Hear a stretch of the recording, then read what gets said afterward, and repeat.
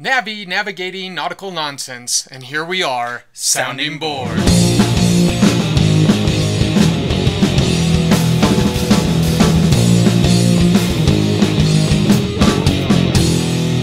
All right, well, welcome back to What, what episode is this? 2.0. We're calling this Sounding Board 2.0. As you can 2.0. see right now, we have four cams. Boom. I'm the fourth. Yeah, he got it. I thought of that joke last night. I'm s- So, so witty. So now we're gonna be able to show the components better. Um, a little bit of tweaking here as we go. Um, So please, like, as we kind of go through this process, and you guys are like, you know, we want y'all to be involved. So leave us comments, like, leave it, you know, email us, like, let us know what you think.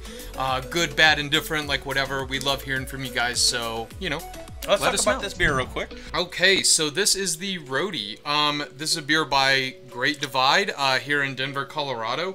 Uh, this is a Radler style beer. Um, that's not really a super like common term, but what you probably will know is uh, shandy, and that's their synonymous term. So I had to look that up myself, but yeah, um, this is a grapefruit shandy basically. Yeah, and you can smell it. Oh, I mean, yeah. Mm. that's all you smell is grapefruit. and that is definitely all that you can taste. Yes, and it's it's good. I like this one. I would have liked it cold. He's gonna argue that and said Yeah. it should be warm. Uh, I like room temperature beers typically, but that's just like my own. I don't thing. like anything room temperature, which is why I don't like hot drinks at all. Like, Oh. I don't like coffee and stuff like that. What I'll need to do from now on is like chill yours. Chill mine. Keep mine regular. Want mine on the rocks. I need to be more empathetic, guys. Yeah, but no, I like this one. This one is a very calm, Oh yeah. mild, Crisp? uh, good taste. Crisp. Yeah. I would say crisp summer beer. Uh, yeah, definitely. If this is like one where you're playing some board games out on the patio, this would definitely be like a good accompanying And beer. it's definitely summer. Definitely. Check All it right, out. so we're going to jump into. We're only going to do two games from now on. Yeah, this Uh, is part of the re-envisioning. Re-envisioning. We want to go deeper into these games, show some components. We got some new camera set up. Uh, so so today, let's do the the cult of the new. Cult of the New. So today we're going to be talking about a two games by the same designer, Same artist. same artist, does everything. uh, it is Cameron's top two. I'm not sure first or second, but top two designers. Oh, definitely. Yeah, Ryan Laukat. I Ryan mean, he is. a great swimmer. He is a. Is that not him? I, you know, I, I think he's actually a pretty decent swimmer, but he is different from the other guy. Okay. Um, so this is the brand new game from Ryan Laukat. Again, he designed it. He drew it, so the art style is very familiar with those who have played Islebound or Above and Below. Um, it's within that same thematic universe. Um, So you have the Kickstarter version. I do I do have the Kickstarter version. Um, one of the reasons was it came with an actual expansion for Above and Below. We're not going to really get into that, but if that does kind of entice you, there is an expansion um, that did come out with the Kickstarter if Above and Below is your jam. So this is a storytelling game. It's uh, kind of a choose your own adventure. Um, But I think that it's a mix, right? it's a mix. It has some. Um, let's go ahead and pull up the some of the stuff real quick. Okay. So there's your player board. So this has some uh, worker placement in it. One of the things that really distinguishes the Near and Far and Above and Below like series is the fact that it mingles uh, the narrative style and the Euro style. Um, in Near and Far, and and what kind of distinguishes it from Above and Below is the narrative parts are a, a have to, Yes. um, because part of the game and actually The good thing is we uh, the cameras still aren't great enough where we can spoil the uh, the stuff as we go. But here, here's the cool thing about this game. It's two distinct games. You have the town, which is near, and then you have the adventuring, which is the far. which is far, um, and so and here they go hand in hand, which they, it didn't in Above and Below. No. Not as much. in, in in above and below you could choose to completely forego the narrative aspects. You could really just focus on your town building your town. But in this you really it, it really incentivizes going out exploring. It's how you get a lot of resources. Um, so this is basically like what a town will look like. And as you can see there are a ton of uh, Maps. maps for different cities and i think that is like super cool Yep. um, And there's a story for each each map has a different story that do tie in together as the more you play. Mm-hmm. And not only that, but this really gives you a lot of options for variety of play because there is like an arcade mode which you can just use cards instead of encounters. So if you don't want to do the narrative stuff, it kind of gives a really stripped down version. There's the campaign, and then there is another variant where you can just play the map itself. Yeah. And Yeah. you can like develop a character and kind of do a whole like campaigny RPG thing. So I'm not big on these type of games. Um, we've played Arabian Nights. Um, Mm-hmm. Hated it. Uh, one day we'll review it. Um, but and that's what this is going to be compared to the most.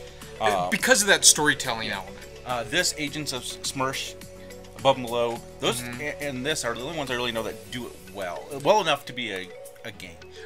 And and that's why I think the Euro part is something that'll bring a lot of people into the game and will really satisfy uh, part of your gaming experience. Where uh, Tales of Arabian Nights, you know, definitely doesn't have that. It is very, I, it is very elaborate in its storytelling, but it doesn't really give you a lot of mechanics and thought, you know, crunchiness. And, that- and there's that no strategy. I mean, there's really no. No. strategy.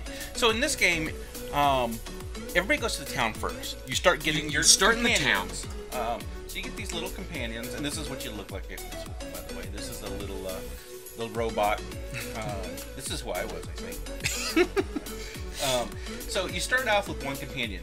The cat is better than the dog because cats are better than dogs. They're the same thing.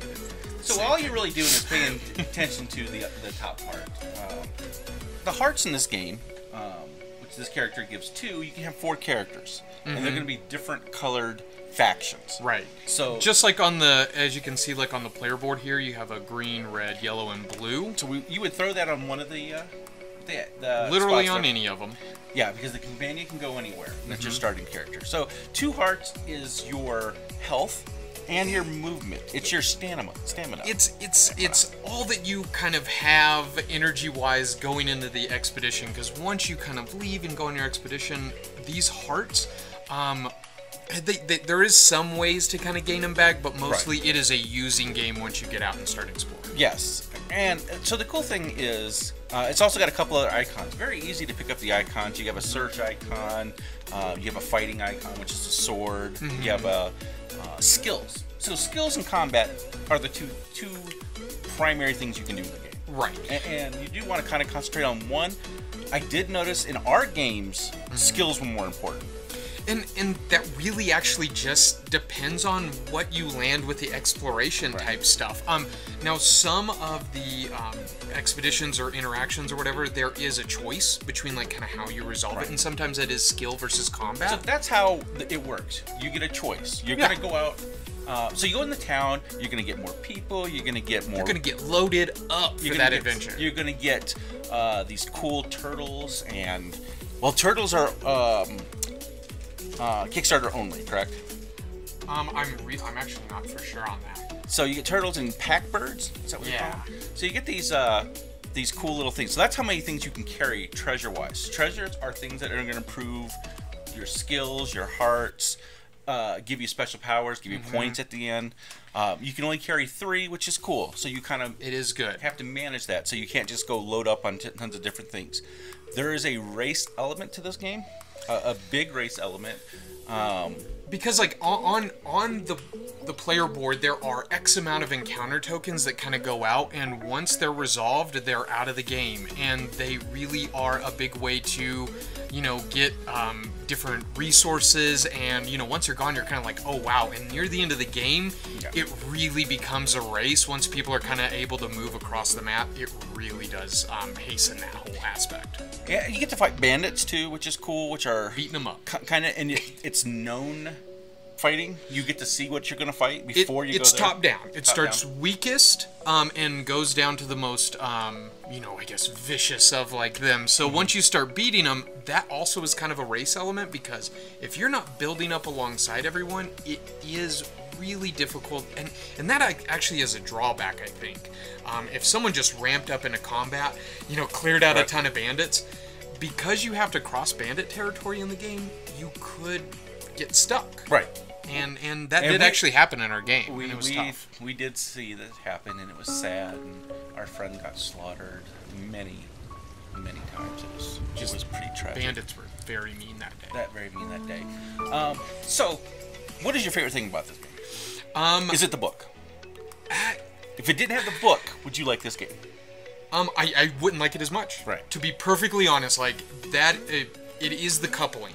It is the coupling that makes it. Um, I love the fact that I really can't. I really have to like strategize and build. I have to like know when I need to go out. I need to know when I gotta come back. Um, I know how to like balance my resources. Um, because because of all that management and stuff, it really gives me a lot of that meat. But when I do get out, I really feel like I'm diving into this like universe that Ryan Laukat has spent a lot of time developing, and I really feel like I'm out there, um, especially with um, with now like the choices uh, versus above and below. You have choices on how you want to resolve it, and some of those really have like narrative points that can kind of go and jump to different quests, and and So- it can really get verbose. Go ahead and show the book. Um, so we played. Uh, I've only played it once. Um, Cameron's game. We played maybe four pages out of this book. Maybe four pages. Um, so for a complete game, so it was not not much. Um, you may want to not leave that up there. Oh, yeah, I There's- guess. there's some spoilers there. I don't know. If, I don't think anybody could read it. it. Um, if you got really good eyesight, you don't spoil it. so my favorite thing was that actually I liked the town a lot. Um, Like was- how how you kind yeah. of gathered resources. yeah, there was an interesting thing getting the companions, getting the right companions. Um, um, also, you could not go where somebody else was without fighting a Without duel. fighting them. Um, Yeah. but but it was a very kind duel. Um, because regardless, Right. if you lose You gotta one way or another, you get stuff. that's on the advance, which we I advise don't even bother with the basic game. Play the advance. Uh, basic game doesn't have turtles. Turtles are cool, and that's the only two differences. Um, as far as we saw, yeah, Yeah. that was really it. Um, so that part is really cool. Going down was very, still to me, random at times. Um, I did a very combat heavy character, Mm-hmm. and most times it was kind of like, eh, but I rolled well. So um, That was very true. it's a skill check game. In the end, It is. still a skill check game, but it does it better than anyone I've played before. And and that really says a lot because Yeah. if people have been kind of following us, like everyone kind of knows like Kyle hates skill check, but that really that really says a lot about like this game and maybe those Euro players out there that Yeah. really haven't dived into narrative stuff, fearing that it's just going to be hard Amerithrash and not really a lot of substance. This um, this is the blend that you guys might be looking for. It's got the awesome metal coins. That's which- Kickstarter. Which is Kickstarter, which hopefully one day will come industry standard, where everything just comes with metal coins. We all get That would metal be beautiful. coins, or clay coins.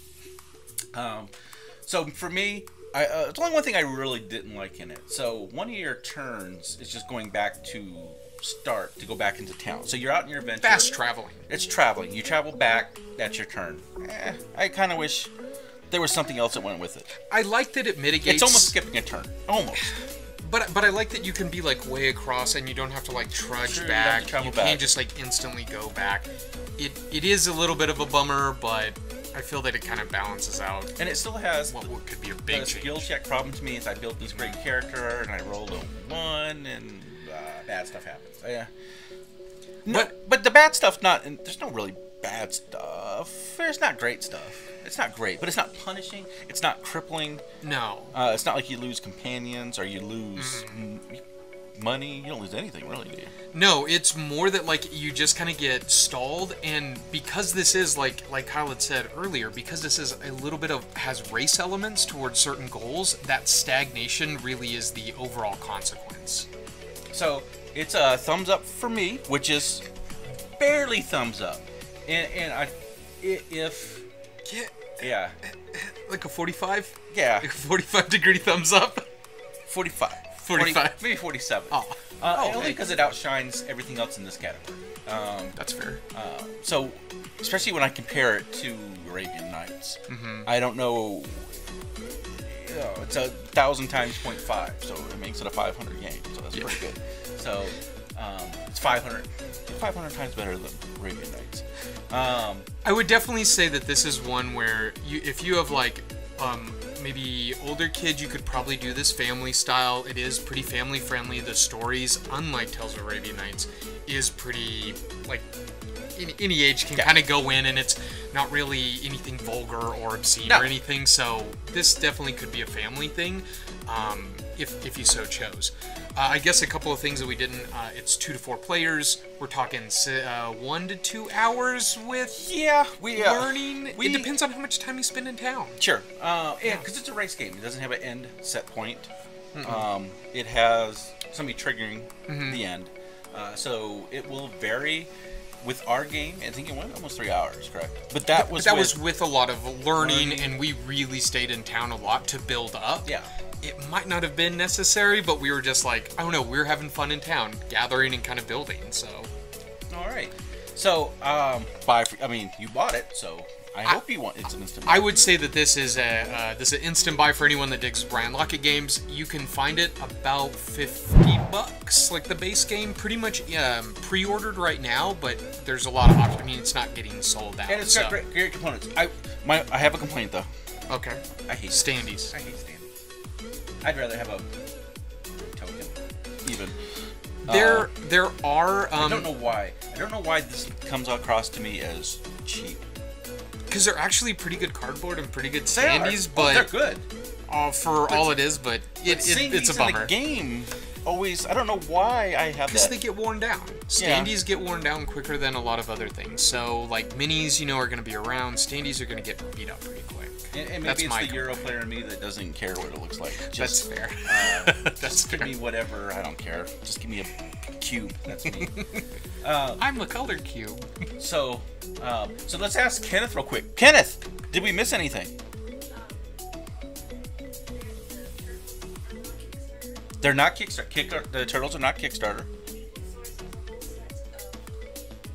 Thank you for reminding me. Oh. Yeah, that's what I was gonna say. If if the standees really are a problem, Meeple Source does have an upgrade kit, both for near and far and above and below. Now, one um, that's just like for the characters, not for uh, companions. Right. Companions are still the cards, Just which is card, good. yeah. And that's actually one thing that we didn't go over. So um, on the companions that come with near and far, you can flip them over, and all of them also can be played in above and below, which I think is Yep. And super we'll, cool. And you know what? Let's about to review it. Yeah. Let's talk about it. Our Cult of the Old. Old, and it's old already. It's not ancient. It's pretty old. Cult of the Old. Okay, so our the second game that we'll be reviewing today, obviously above and below. Um, Now I've heard this next game is called Over Here, Over There. over here and over there. Um, I don't think that's confirmed yet, but you know, I'm hoping. Are you happy he's in this universe? Absolutely. And you want? Do you want him to stay in this universe, or do you want him to create more universes? Um, honestly, is uh, the way that it seems, he's always able to kind of build and really expand this like universe in ways that doesn't, you know, negate like old stuff. And as like an RPG player, um, that kind of stuff like really resonates with me. The fact that he could keep kind of building on it without Right. negating the old stuff. If he could keep doing that, God bless him. Keep like going, homie, because like that's that's awesome. So this one, um, was this a Kickstarter or was this Um, not? I do believe this was. I did get the Kickstarter for this Okay. one. I cannot recall because it has been a couple of years, guys. Uh, this is a 2015 release. Um, Let's give the players and stuff like that. How many players is it? um, this is the same. It's two to four players. You're talking one to two hours. Same with near and far. Um, obviously, is the spiritual successor, a lot of what we're going to be talking about today is kind of comparing and contrasting. Um, a lot of this word, and then using the word and, and then using the uh, opposite word. Yeah. yeah. Uh, hey, it works. Uh, hi and bye. Um, so, uh, just like with near and far, you have a player board. Now, the way that above and below kind of functioned differently was one companions actually were through an auction mechanic. Um, that is similar to near and far, but this was this had uh, alternating cost uh, and really much narrower. Right. Um, Which I did like because in in in a, in near and far, it was just you paid a price and you got one of the four, five. There's five out there. right. Um, so in this one, there was the price changed, um, there's no printed cost on here. No. So it's where it was on the. It's where it is on the board. So the opposite of that, because the opposite was better characters cost more in near and far. So here you may actually pay more for a for what might character. not be a good character. Um, again, with this game, uh, team composition, just like near and far, is a big thing. But like we were kind of saying earlier, one of the biggest things with this game is you can completely play off of your player board. You can build buildings, you can recruit people, you can do all of that without ever doing any of the narrative er- elements. Now, how you do those is basically you just kind of go on an expedition you you know declare that you take any of your available companions you say hey guys uh we're going as a team you take that team now as kyle can kind of show you guys there are uh, dice uh, values. That added a huge randomized element Yeah. which i know kyle really didn't dig to the um, to the whole skill check and encounter thing. Because you could load up your dudes with a bunch and just so happens you roll like a one and it can sometimes negate and in, even injure some of your players. Now after you do an expedition um, you know you would get some rewards if you succeeded or failed and then your players kind of go here here each day they kind of go down. So really, guys, you could go out on an expedition. All you could have some bad rolls. All your dudes get really hurt, and you really may not be able to do actions for a couple of turns, Yeah. which can be huge and super frustrating. I'm glad that they kind of updated that near and far. So there's a lot of set collection in this game. Absolutely. I don't remember how the points work though. So, with each of those, so say I had my pair and I want to place it, I would place my pair here, and then for each pair, that would be worth um, one point. Um, then, as you kind of build up, the more you know, So you're concentrating on you really want to concentrate on one type. you're focusing on usually like a couple. Like Right. y- there are different numbers of each side. You know, there are some that are super common Right. and have like a bunch. There are some that are super rare. Now, if you can get one that's really common and somehow wait it out and be able to drop them all on one, it's huge points. Um, a lot of your buildings are basically uh, being able to hold more people, um, being able to get some more resources. Um, your buildings are really the way that you um, make your town work, and then your people are really only there for expeditionary type stuff, except for like base building. Like people have to have a hammer in order to build a building, and then You do that where's the feather? Do we not have one with a feather? You didn't pull one. But if you have one with maybe this feather icon that we have right here, that allows you to recruit.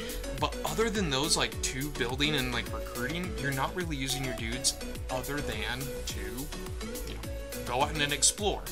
But I love that this game gives you that option. If I just want to do kind of a light Euro experience and do no narrative stuff, I can completely do that. Yep. And I like that it gives you that option. So the, show the book. So the book is It's much quarter, thinner. yeah, quarter the size. It's much thinner. um, and it doesn't have the A lot of replayability as far as tangential. you will hit the same. The more you play it, you'll you'll read a lot of the same Mm-hmm. Things, and, and really doesn't matter because you're still doing a dice roll at the end of it. So even if you knew what the rewards are, you you may not get it. you still may not get it. You gotta, you kind of gotta know what it is, and I doubt you're gonna memorize that entire book anyway, unless you play it every day. No, and, and and that is one thing about Above and Below. It doesn't have the replay value as much, Mm-hmm. but I could realistically say you could probably play this game half a dozen times, and you really may not repeat more than a couple. Right. So it does Yeah. have a lot of options, but yeah, I mean, if you're playing this game a dozen times, you're definitely going to see some repeats. So do you need both? Um, If you don't have any of them right now, Um, if you had none, I would say if you know because Near and Far is kind of in this pre-order, you know, just getting done with Kickstarter thing.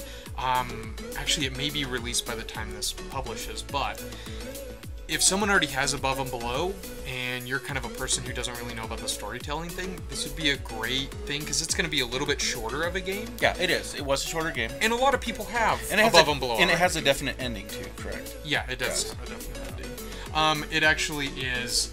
This is the marker Right. ending. So once it is um, down at the bottom, game's. Yeah, I, I would definitely recommend that if you if someone already has this and you're kind of curious about the narrative style, go ahead, borrow this, or go to a game library, play it. Um, if you don't have that option, then I would recommend Near and Far, to be perfectly honest. I think it builds on a lot of the same elements. Great components. Uh, beautiful. On, on both. I mean, on guy- both. The art's great. He- Ryan Laukat's a good dude. Uh, not metal coins, but these are good coins. I mean, uh, I got no problem with these coins. They're good and They're big, obvious. They're yeah. chunky. They're chunky cardboard. Yeah, they're chunk- they're chunkier than you know, like a brass or something like that. Yeah. Stuff. So it's much better than that. Comes with a ton of characters, and there's more now that with the with the Mm-hmm. Right. Kickstarter version. No, actually, with the near and far game, Oh, the- all- all all those characters them, can be played with both.